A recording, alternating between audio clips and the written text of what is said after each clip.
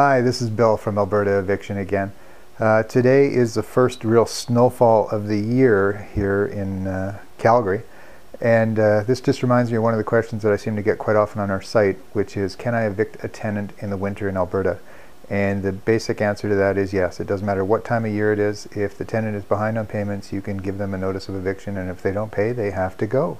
So enjoy the snow, enjoy the winter, but don't enjoy late tenants. Uh, make sure you get that eviction taken care of. Thanks and have a great day.